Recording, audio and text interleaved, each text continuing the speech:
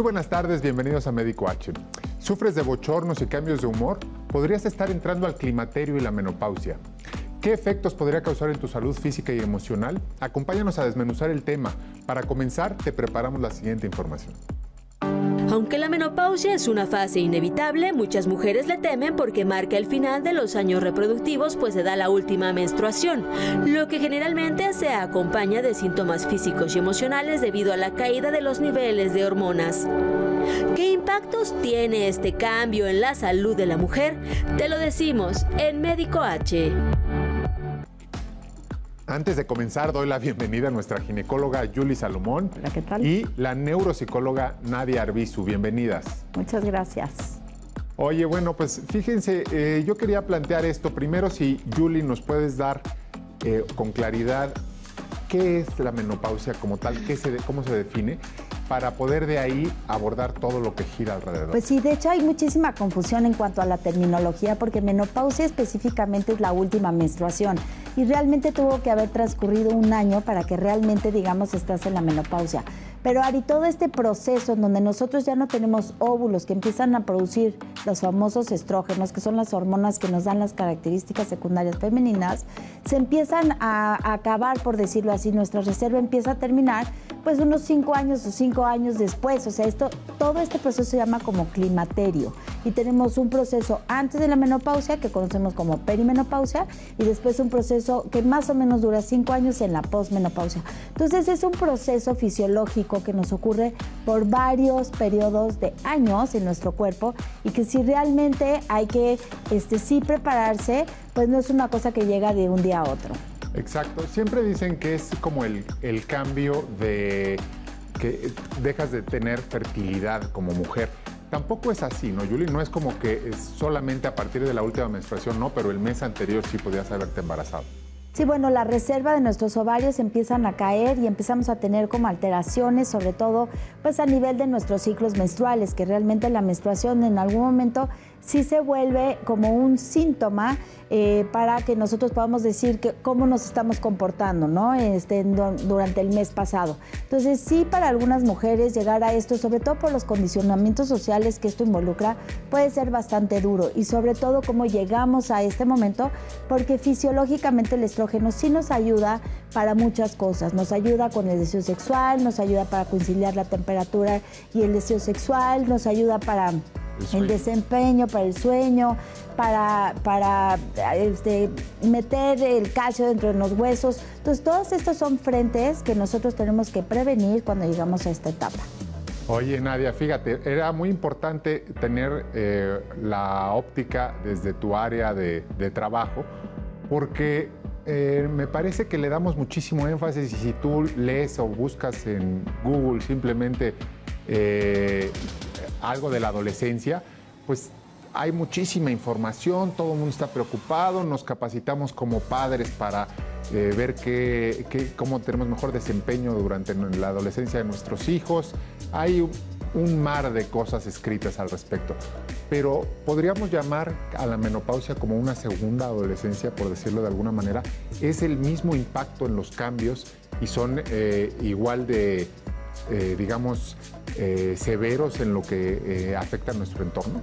Definitivamente es, no sé si decir una segunda eh, adolescencia, pero definitivamente los cambios que bien describía Julie al inicio, ¿no? Todo este aporte que, tiene la, que tienen los estrógenos. hay que recordar que hay una comunicación entre el cerebro y el sistema reproductivo, ¿no? Una comunicación entre cerebro y ovarios y por lo tanto eh, durante la menopausia y a lo largo de estas tres etapas que, menciona Julie, pues sí, experimentamos cambios desde el punto de vista, de eh, no solamente físico, sino también emocional y que no son menores. A mí me da un gusto enorme que ustedes estén abriendo el día de hoy el el diálogo para poder eh, hablar un poco más de esta parte que no se, eh, no se suele abordar de manera tan, tan exhaustiva. El, tema aquí es que yo creo que hay un mar de, cosas escritas al respecto de la adolescencia y a la menopausia o al climaterio como tal. se les presta poca atención e incluso tendemos, Julie, no sé si estás de acuerdo, a minimizarlo y hasta decir, ay, eh, ya está con, así como si fuera un achaque casi, casi voluntario de decir, ay, ya está molestando con sus cochonos, o ya está molestando con su eh, llanto fácil, o con su tristeza, o con que no puede dormir. Eh, y lo pensamos, estamos como casi chantajeando, ¿no? ¿Qué, qué porcentaje o qué, con qué frecuencia ves en tu consulta pacientes que la propia familia las minimiza con estos síntomas? Híjole, yo creo que es fuertísimo, pero es un porcentaje bastante alto, pero sobre todo nosotras mismas, porque tenemos como este desconocimiento o no tenemos la información necesaria para prepararnos. Entonces, evidentemente queremos seguir siendo igual cuando nuestro cuerpo ya no da, no podemos cambiar por la edad, como muchas creencias que tenemos, muchos estigmas, y es muy importante que vayamos de la mano con un equipo multidisciplinario, como por ejemplo con la doctora, con el psicólogo, con el nutricionista, porque son como muchas cosas que te van a llegar al mismo tiempo. Además, pues en las etapas de la vida en donde nos encontramos, no es como antes, que generalmente ya no tenías actividad, necesitas continuar con tu actividad, más los achaques, por decirlo así, más los síntomas que esto te trae, y esto puede ser un poco abrumador para nosotras. Oye, y también eh, esta parte de que por coincidencia los hijos eh, normalmente ya no están tan apegados a nosotros, en algunos casos están estudiando fuera, en algunos casos ya tienen pareja. Eh, ¿Cómo lidiar con esto, Nadia?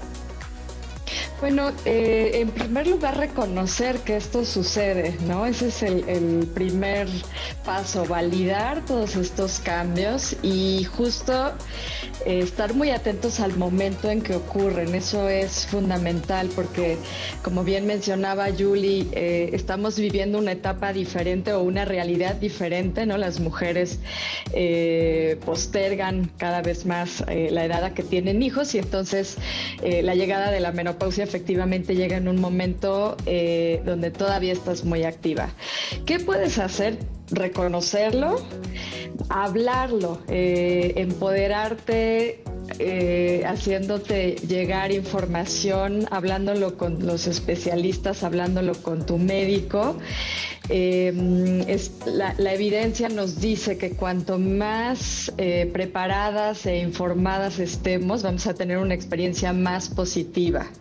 También creo que es importante tener en cuenta que se trata, eh, si bien puede ser em, una etapa en la que se presentan síntomas y manifestaciones diversas, hay que tener presente que no a todo mundo le da igual, ¿no? Hay personas que tienen síntomas muy floridos, físicos, emocionales y cognitivos, hay quienes lo, navegan como con mucha más calma. Entonces, creo que eh, es importante no temerle, prepararse, saber que, nos puede suceder y cuanto más preparadas, eh, mucho mejor. Exacto. Bueno, si les parece, ahorita vamos a una cápsula que nos habla acerca del climaterio y regresamos a hablar con ustedes para continuar tratando este tema.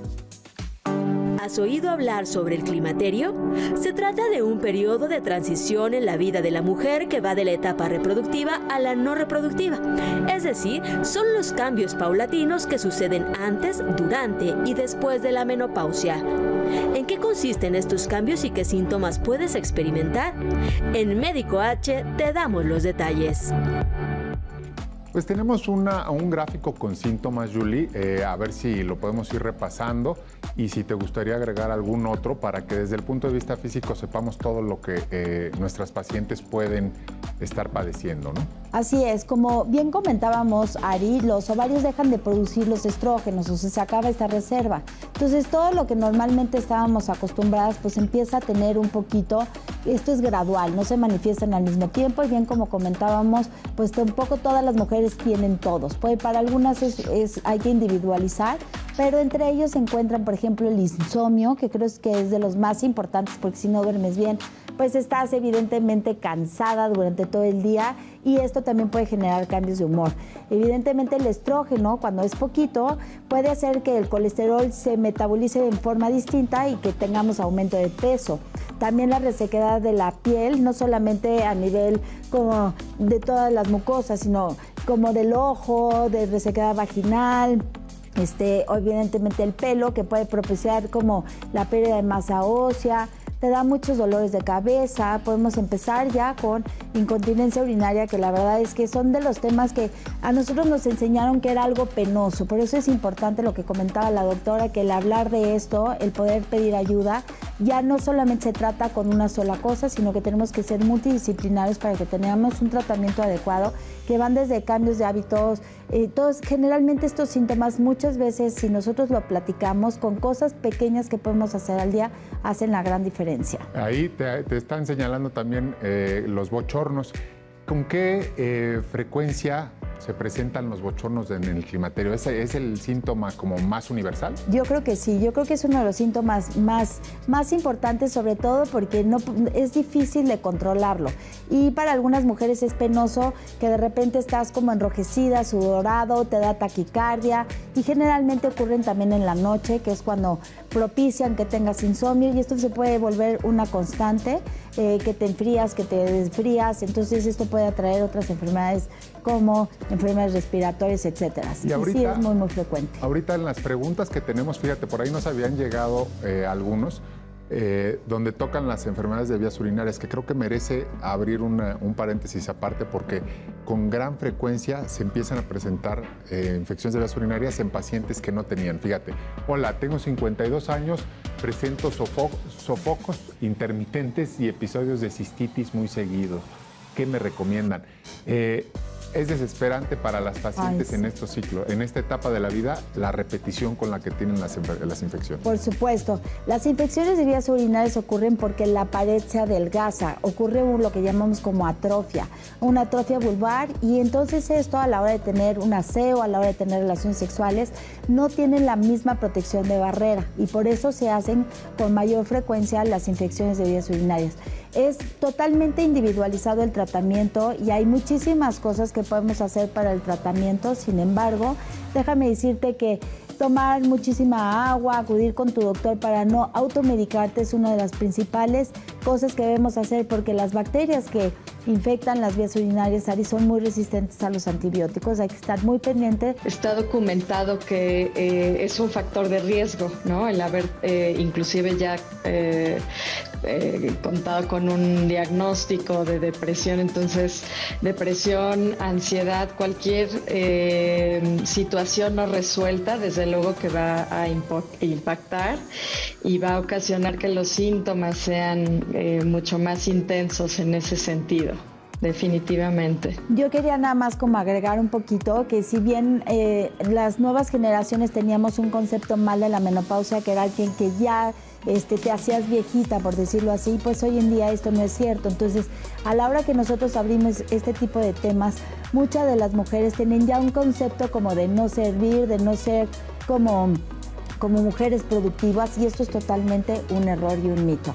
O sea, desde la libido, de que no tienes ganas, de que el marido este, se te acerca, de que tú ya no tienes la misma energía para hacer tus actividades. Esto es totalmente algo que sí hay que platicarlo porque es mucho condicionamiento social. Fíjate, esta pregunta de WhatsApp para que las dos me hagan favor de contestarla. Soy una mujer de 60 años, siempre he tenido excelente salud y pasé mi menopausia sin mayores problemas. Ahora tengo muy baja libido, ¿qué puedo hacer? ¿Qué puedo hacer desde el punto de vista del eh, apoyo psicológico? Y ahorita venimos con el físico y los sustitutos que pueda tener Yuli. Yo creo que eh, es muy importante poder identificar de dónde viene esta baja de libido, ¿no? Cuando estamos haciendo el diagnóstico diferencial, por ejemplo, en el caso de la depresión, ese es, el, meollo del asunto con la menopausia, que muchos de los síntomas de la depresión se eh, sobreponen o se, se, solapan con síntomas que son afines a la menopausia. Entonces, eh, como paso número uno para mí como psicóloga, sería determinar de dónde viene esta disminución para poder dar un, tratamiento. Yo le diría, ah, mi respuesta sería atenderlo, o sea, hay que escuchar a nuestro cuerpo y si estás notando este cambio que no es algo habitual en ti, debes de acercarte con un especialista, comentarlo con tu médico para determinar la causa de esta disminución de libido y por lo tanto el tratamiento a seguir. Muy bien. Pues sí, definitivamente puede ser algo que tenga en relación o que no tenga relación o que se junten todos los factores y hay que ir descartando cada uno y personalizándose para cada paciente, porque también, pues si no duermes no vas a tener la misma energía, no vas a tener el mismo gusto, entonces no necesariamente, o sea, hay que indagar bien de dónde viene, como dice la doctora, esa, esa, esa falta de apetito. Y como decía mi abuelita, puede ser que venga junto con pegado, ¿no? Que estés deprimido, pero que también tengas falta de estrógeno. Así es. Finalmente es tiempo de hablar sobre los tratamientos que te ayudarán a enfrentar los efectos de estos cambios hormonales y para eso te hemos preparado la siguiente información. Los cambios hormonales tienen un impacto masivo en el cuerpo de la mujer. Por fortuna existen diversos tratamientos enfocados en aliviar los síntomas y prevenir o manejar los trastornos crónicos que pueden producirse tras la menopausia. ¿En qué consisten estos tratamientos y qué tan efectivos son? Te damos los detalles en Médico H. Creo que va quedando claro que el abordaje debe ser multidisciplinario, que eh, nos debemos de acercar a la ginecóloga especialista en estos temas de climaterio y que a su vez ella o nosotros, nos puede referir o nosotros mismos tomar la decisión de ir con alguien que nos brinde apoyo psicológico porque viene muy, muy entrelazado. ¿Qué opciones nuevas de tratamiento desde la parte eh, física hormonal tenemos, Julie? Hay muchísimos tipos de tratamiento, Ari. Como bien comentabas, esto es algo que es totalmente individual. Nosotros tenemos que tomar muchos factores para ver el beneficio sobre el riesgo de tomar una terapia de reemplazo hormonal todas las mujeres que acuden con el doctor, o sea, con nosotros, tenemos que estar súper seguros de que estamos eh, con tu mastografía, con tu seguimiento anual antes de iniciar una terapia de reemplazo hormonal. Definitivamente no es algo que te puede recomendar ni tu mamá ni tu vecina porque las dosis son totalmente diferentes para cada mujer y hay una dosis respuesta. Sin embargo, cuando nosotros ya estamos ante un riesgo inminente o deseamos tomar una sustitución hormonal, pues además de contar con el perfil hormonal, hay muchas formas. Hay medicamentos que son más naturales, hay medicamentos que son bioidénticos, hay medicamentos que están hechos en laboratorio y generalmente lo que buscamos es sustituir esta falta de estrógeno.